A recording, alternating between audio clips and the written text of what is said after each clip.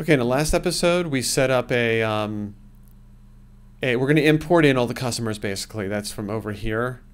Uh, you hit a button. You want to import all their customers to your system. In this case, I got a blank slate of customers. You're going to need to match them up most likely to your existing customers.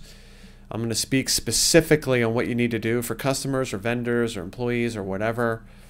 Um, but let's chunk this one down to just talking about an iterator request, which is what goes on here. And an iterator request is really just a way to chunk a query. I had mentioned in a, in a previous video that you can't just send out and go get 10,000 uh, or ask for 10,000. You could ask for all of the customers, but if they have like 10,000, that might fail, or that would fail maybe because there's a two minute limit to each request. So, what is recommended that you do is you do um, perhaps 10 or 25 at a time because each request will be well under two minutes. And uh, so, queue runs can go a long time. Uh, individual requests and responses can only go two minutes. So that's why you need to use iterators.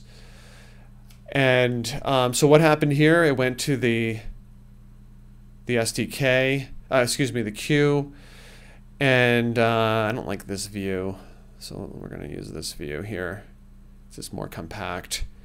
And I'm calling it this action query. This is nothing specific to the QuickBooks Web Connector. This is like internal thing, so I know how to construct the, the query request. There's also a handler. This is another thing part of the library. I can directly determine how I want the query handled. And um, other things don't have, you can see add or modify customer. These don't, this is specific for a query, so the query action. But let's just see what I'm doing over there. Hopefully it makes some sense. Okay, so now again, I've made this want to make these methods small. You want to do that too, just so you have some sanity when looking at the main send requests. And uh, so over here is where I'm doing in this directory the send XML. And it, this is in Ruby, this is a class. I'm making a new instance of a class just to, to abstract everything over there. And um, Let's take a look at what it does. So first, I just take the current job. I explained in the last video what the current job is exactly. That is the current queue run you are on.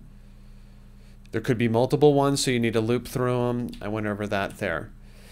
I'm not going to talk about this. This is going to be important, but um, you, we're determining what kind of request this is um, what we're doing is we're making QBXML to send over the web connector to ask. In this case, we're going to make a a query XML request, and as uh,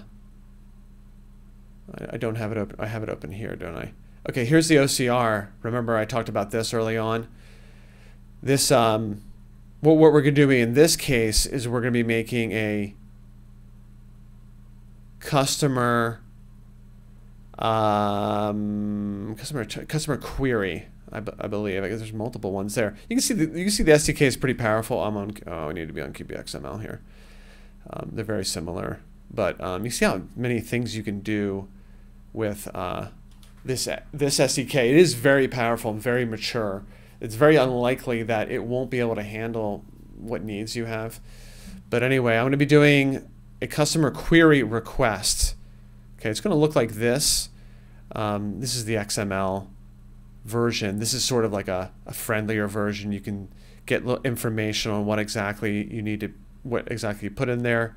It's going to look like this. Um, okay, so this is what we're constructing. This is why it says make over here. We're being asked we need to send a request over, an XML request over, okay? And we need to make it. Um, this is not hits this condition. I'll have to go to that condition later. But what we're going to do is we're going to generate the QB XML. Remember, the current job is the queue. So the queue is a model over here. All right, so this is a method off of this model. So I need to go, oops. I need to go back to this model to find this method. And uh, what was it called again? Generate QBXML. And for this, I uh, go into, hopefully this is, uh, it's going to get into a little bit of thing, uh, things specific to Ruby. But um, the, the action is what this thing is. All right. So in Ruby, what you can do is just dynamically send a method. Like this is just a string, right? Query. But it's also a, um, a, a method on this model. Okay, so what is the model? Let's. I gotta get in. I, this. This is. Uh, I wish it was a little more.